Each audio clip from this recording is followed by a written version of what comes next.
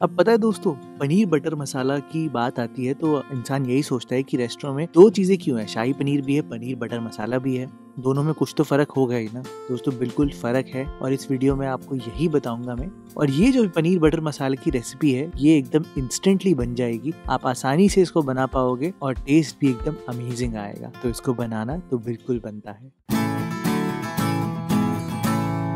Hello दोस्तों, मैं हूँ भरत और आपका स्वागत है भरत किचन हिंदी में। तो फिर देर किस बात की? चलो, फिर शुरू करते हैं।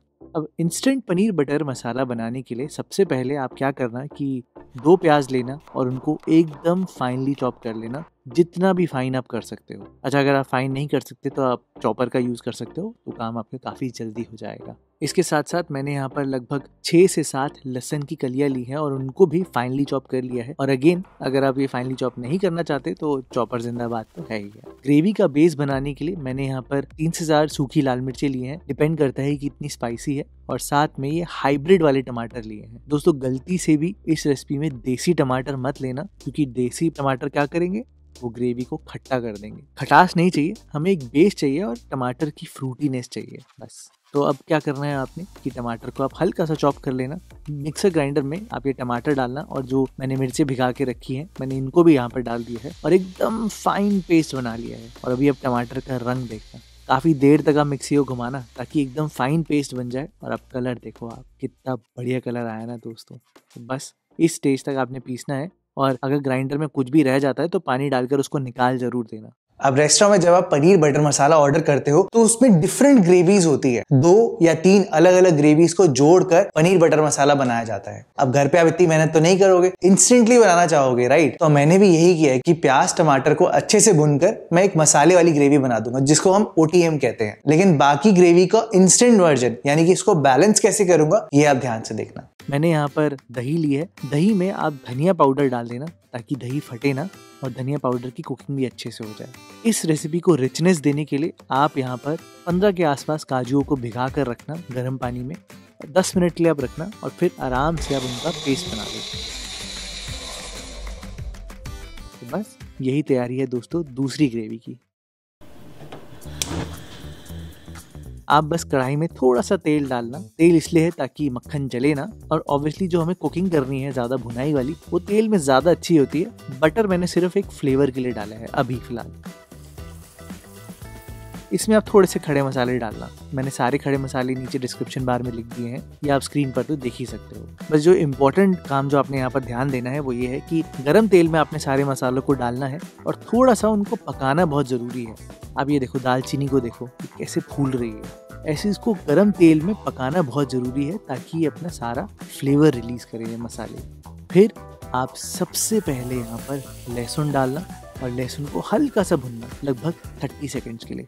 और आप खुद ही देखना, एक बढ़िया सी खुशबू आएगी उस टाइम पर। जैसे ही लहसुन से खुशबू आने लग जाए और हल्का सा रंग आ जाए, फिर आप यहाँ पर प्याज डाल देना, जो हमने फाइनली चॉप करके रखे हैं। और इनको अब आपने थोड़ा अच्छे से भुनना है। यानी कि आपको लगभग तीन चार मिनट आराम से लग जाएँगे दोस्तों। अभी आपको लग रहा होगा कि तेल की क्वांटिटी थोड़ी ज़्यादा है, लेकिन जब भी रेस्टोरेंट में अनियन टमाटो मसाला बनता है ना तो उसमें तेल की क्वांटिटी हमेशा ज़्यादा रखते हैं ताकि प्याज की कुकिंग एकदम परफेक्ट हो। ब्राउननेस जो है वो एकदम इवनली आनी चाहिए। ऐसा नहीं कि कुछ पिंक रह जाए प्याज और कुछ ब्राउन हो जाए। नहीं नहीं, ऐसा नहीं। तो अब यहाँ पर मीडियम फ्लेम पर आराम से पकाना, ये देखो इस स्टेज तक, कैसे प्याज में एक बढ़िया सा रंग आ गया है। बस दोस्तों, इसी टाइम पर आपने यहाँ पर एक बड़ा चम्मच अदरक लहसन का पेस्ट डालना है। साथ में आप रंग के लिए कश्मीरी लाल मिर्च पाउडर डालना और थोड़ा सा हल्दी पाउडर ये सब डाल के आप 30 सेकेंड्स तक भून लेना इस मसाले को और अदरक लहसन के पेस्ट को। कच्चापन भी दूर हो जाएगा और अब कलर देखना कलर बहुत ज़्यादा बढ़िया है। बस अभी स्टेज पर आपने यहाँ पर जो हमने टमाटो का पेस्ट बना रखा है, वो आपने यहाँ पर डालना है। आपको तो पता ही है कि टमाटर आएँगे तो नमक तो डालना ही डालना है। क्योंकि ये सबसे इम्पोर्टेंट पॉइंट है दोस्तों। फ्लेवर निकालने के लिए आपको यहाँ पर टमाटर की भुनाई बहुत अच्छे से करनी है। बेसिकली तब तक करनी है जब तक कि सारा इससे तेल अलग नहीं हो जाता और पानी गायब नहीं हो जाता। ढक कर इसको दो तीन मिनट पकने देना आराम से। एकदम दानेदार पेस्ट हो जाना चाहिए दोस्तों ये। तब थोड़ी देर इसको भुनना ज़रूर अच्छे से। चार से पाँच मिनट आपको आराम से लग जाएँगे।